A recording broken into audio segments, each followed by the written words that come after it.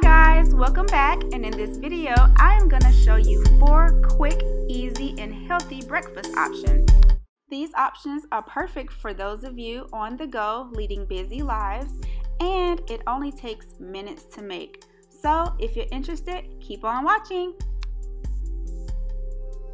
First, we're going to make our bacon, egg, and cheese muffins. Start by placing shredded kale into a greased muffin pan along with Parmesan cheese and bacon bits.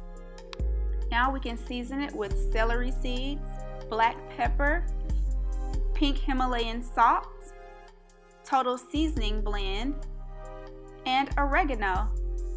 Now you want to add egg whites to the mixture. Preheat your oven to 350 degrees and add your muffins and bake for about 20 minutes. Once done, you can enjoy your muffins alone or you can pair them with an English muffin.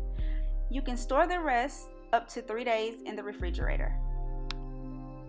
Next, we're going to make a kale fruit smoothie using a blender.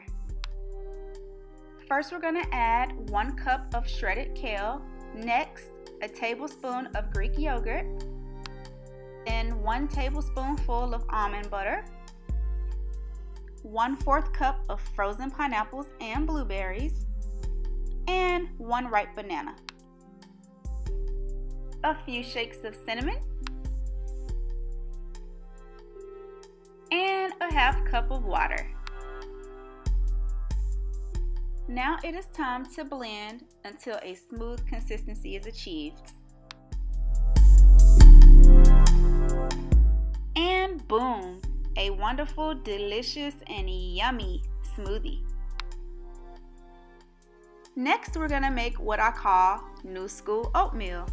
And to start out, you wanna place 1 4th cup of oats in a bowl, along with a cup of cinnamon applesauce, 1 teaspoonful of butter, a few shakes of cinnamon, and you wanna mix well and place in the microwave for about a minute and 20 seconds. Once done, you can add walnuts and boom, you have a hearty and delicious breakfast. Last but not least, we're gonna make a chocolate banana smoothie.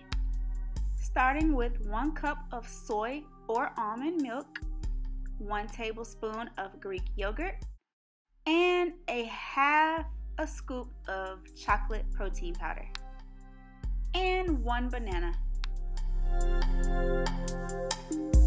Now you want to blend until you get a smooth consistency.